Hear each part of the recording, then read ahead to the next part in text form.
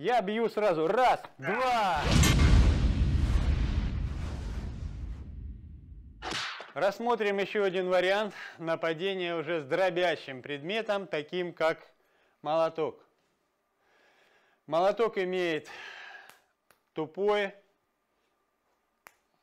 угол, да, и острый. Вас могут просто бить, вот это как гвоздь забивают, и может рубить. Вот это, это уже как клин. И даже будет входить и очень сильно пробивать, если я ударил человеку в грудь, то он может и прошить вот грудную клетку и войти туда, если достаточно здесь заостренный. Бывают разные молотки и так далее. Но сегодня вот вариант такой. Это по степени опасности идет третьим после огнестрельного оружия, рубящего оружия, как топор, и вот такой, который может раздробить вам череп, кости, э, войти в грудную клетку, если будет острием бить и так далее. Сломать ногу, руку, сломать, не перерубить. Это будет вариант третий, если вы решились работать с ними по очереди сработали с огнестрельным, с рубящим оружием. И дальше человек, опять же, он должен замахнуться. Чтобы ударить, он должен замахнуться. Чтобы замахнуться, я вхожу, смотрите, в мертвую зону.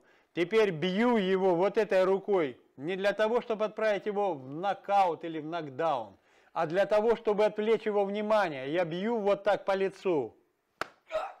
А рука вот эта работает асинхронно. Обратите внимание, с вот этой стороны. Замах идет, смотрите, я вошел сюда, этой рукой отвлекаю. И здесь забираю это оружие. И ухожу. Забрав, не смотрю на него. То есть, смотрите, я раз вошел, вот здесь бью, здесь забрал, и дальше думаю, бить, не бить, ни в коем случае. Все уже произошло. Возвращаемся к юридической составляющей. Здесь я буду нарушать закон. И я ушел. Это я вхожу вовнутрь. Смотрите, раз я вошел вовнутрь, теперь могу вот рукой бью ему в нос. Раскрытой ладонью. Бью сейчас в грудь. Оружие почти выпало. Я забрал, ушел. И еще вариант, когда он начинает бить, э, я вхожу вот в это пространство с внешней стороны. С этой стороны, смотрите, вот рука раз, я вхожу в это пространство.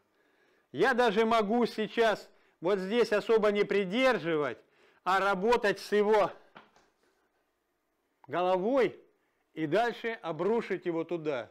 Даже мне оружие уже не нужно.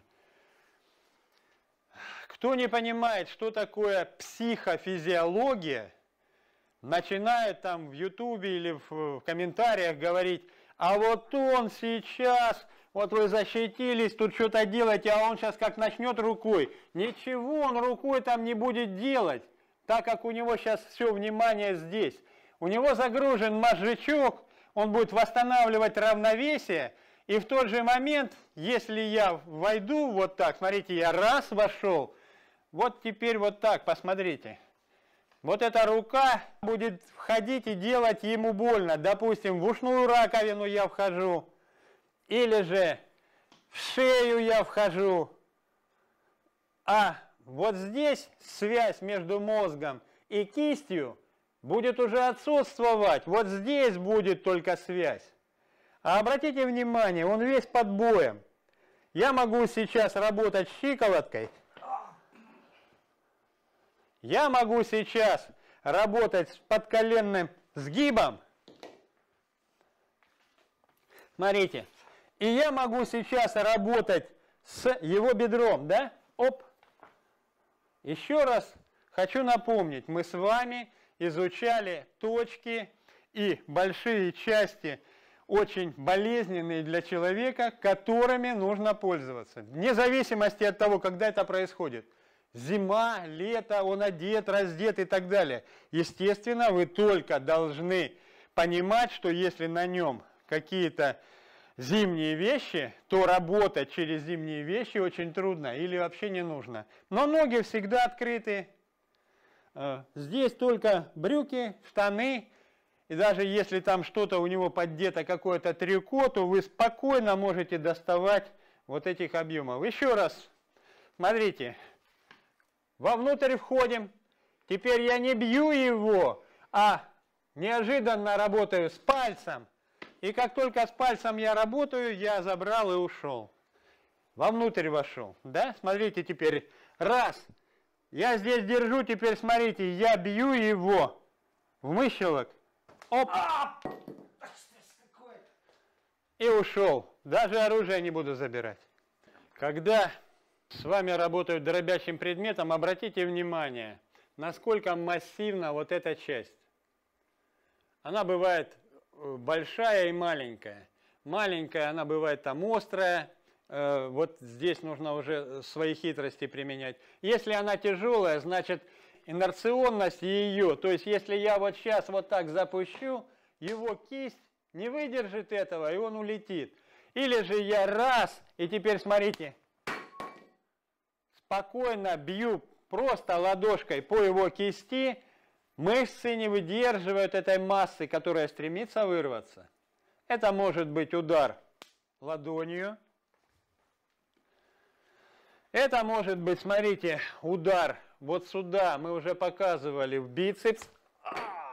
И еще, смотрите, я вошел во внутреннее пространство и вот бью вот здесь, возле локтя.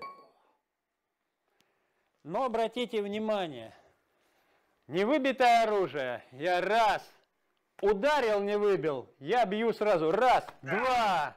И оружие уже упало. Сейчас вы обратите на это внимание. Смотрите, вошел во внутреннее пространство и раскрыто абсолютно здесь бицепс, вот предплечье и так далее.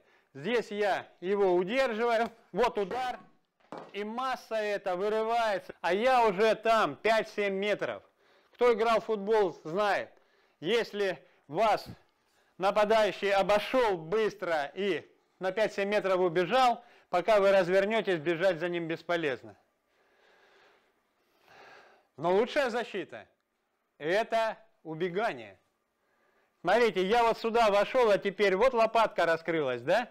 И я вот сюда, в серединку лопатки, пробиваю. Опять же, боль идет и раскрывает его кисть. Нападение с дробящим предметом на сегодня мы закончим и будем рассматривать и эти, и другие предметы, которые могут использоваться как оружие в последующих роликах. И, э, так сказать, опираясь на то, что вам более интересно, пишите нам, звоните, и мы будем с вами общаться. Именно то, о чем вы пишете.